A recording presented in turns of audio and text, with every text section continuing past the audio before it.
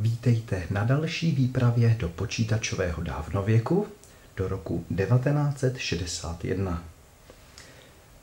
Na utajované základně jsme se rozhodli zjistit, zda si Minivac 601 zaslouží označení počítač, tedy zda umí počítat.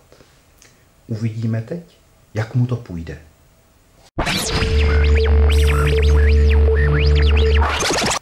Abychom si mohli kontrolovat správnost výsledků, máme připraven počítač Enterprise 128, využijeme kartridže jazyka Force ke kontrole výsledků. Force proto, že umožňuje pomocí příkazu base změnit číselnou soustavu, kterou používá. 2 přejdeme na binární soustavu, base, to je proměna, ve které je základ číselné soustavy uložen a vykřičník, což je příkaz k uložení hodnoty do této proměny. Od této chvíle počítá Enterprise binárně, což si dokážeme jednoduše. Uložíme číslo 10, dub, zdvojíme ho a teď je sečteme. Výsledek, zobrazený pomocí příkazu tečka, je 1, 0, 0, což odpovídá binární soustavě. Tímto si budeme kontrolovat správnost výsledků, které nám bude dávat náš minivak. Sčítá dvě tříbitová čísla, jedno se vkládá jednou trojicí tlačítek, druhé se vkládá druhou trojicí tlačítek. Výsledek nám zobrazují tyto čtyři žárovky, číslo 1, 2, 3 a 4. Můžeme tedy sčítat čísla od 0 do sedmičky, což je celkem 8 čísel. A výsledné číslo může být 0 až 15, což je celkem 16 čísel. Minivac v tomto okamžiku toho umí víc než první osobní počítač na světě sestavený Edmundem Berkeleym, což byl Simon, který byl ovšem dvoubitový, uměl tedy sčítat pouze čísla 0, 1, 2 a 3. Byl to sice plně programovatelný počítač s vlastní instrukční sadou, ale v tomto okamžiku Minivac sčítá čísla větší. Víme, že součtem jedničky a nuly vzniká stále jednička, zatímco součtem jedničky a jedničky nám vznikne 1, 0. Stejně tak v případě, že budeme sčítat jedničku na druhém tlačítku,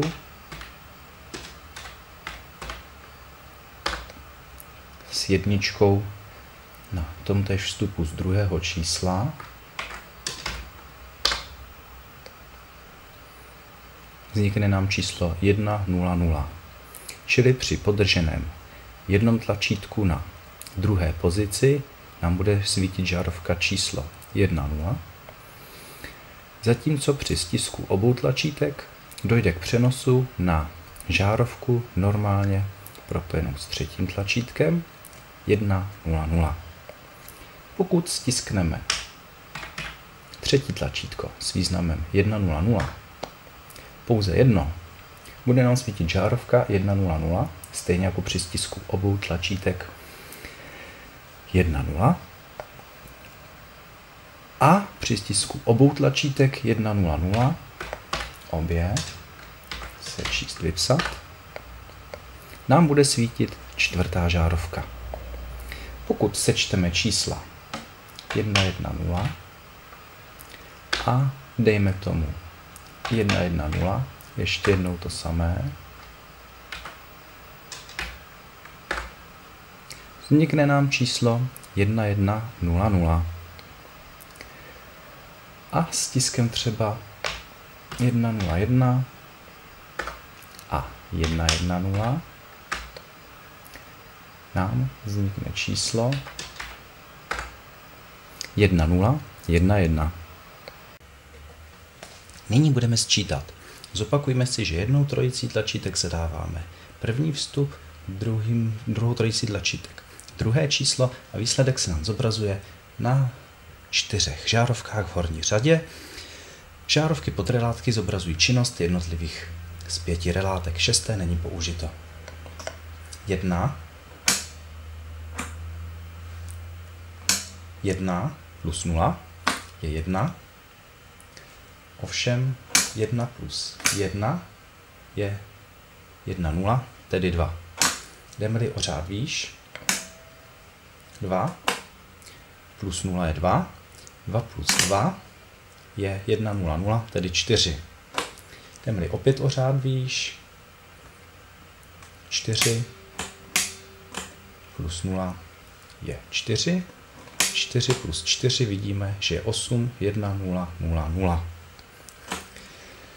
Sečteme si teď komplexnější čísla, která jsme předtím sčítali na Enterprise 128, tedy?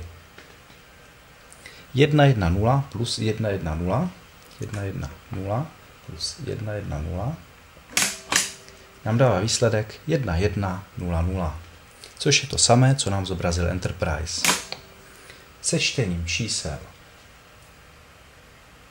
101 a 100, 101 a 110, dostáváme výsledek 1011, což je opět to, co nám zobrazil Enterprise. Z toho vyplývá, že 5 plus 6 je 1 plus 2 svítí, 4 nesvítí, 8 ano, 3 a 8 je 11. Tedy 5 a 6 je 11.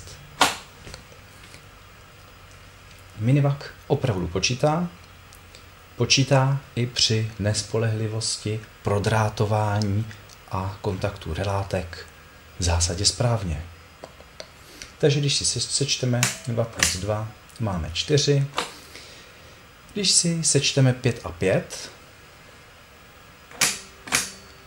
máme 1, 0, 1, 0, což je 10. 8 plus 2. Podíváme se detailněji na zobrazení výsledků. Toto je 1, 2, 3, 4, 5, 6, 7 a dál musíme k sedmičce přičítat.